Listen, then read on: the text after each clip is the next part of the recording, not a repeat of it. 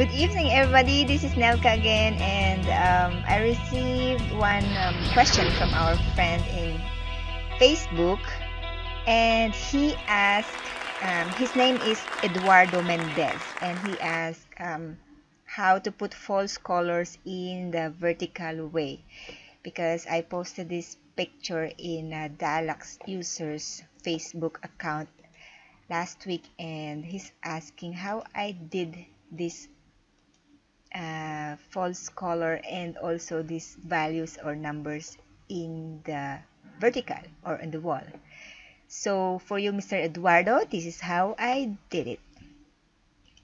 So I open now my uh, file and I will go now to this calculation object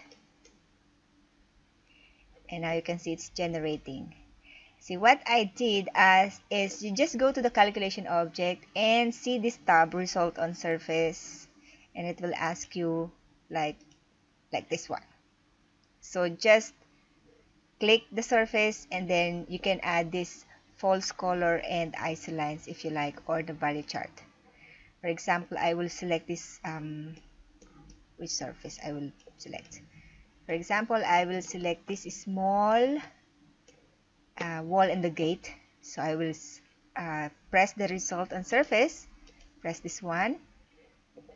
And then I will put a value chart and also the false color. And that's it. And then you can just add it in your export tab but make sure you you uh, uh, open this result overview first before you say that you will save this one as a new view. Now you have here the new view okay so let's do it again. Calculation object result on surface click the surface open the value chart and the false color and voila you now have your vertical calculation. Same with the horizontal if you want to put a calculation surface on the floor.